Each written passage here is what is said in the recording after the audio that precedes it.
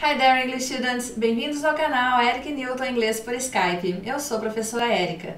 Nossas aulas são focadas em conversação para os níveis iniciante, intermediário e avançado.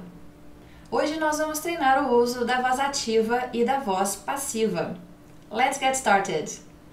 Usamos a voz ativa quando a frase começa com o sujeito. Usamos a voz passiva quando a frase começa com o objeto. Repita as frases em inglês. Mary comprou um chapéu colorido para sua filha. Mary bought a colorful hat for her daughter. Um chapéu colorido foi comprado por Mary para sua filha. A colorful hat was bought by Mary for her daughter. A mulher está construindo uma casa.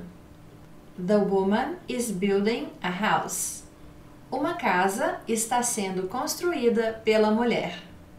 A house is being built by the woman. And that's it for today. Thanks for watching. Lembre de dar like no vídeo, assinar o canal e compartilhar com seus amigos. Practice every day. I'll see you next time.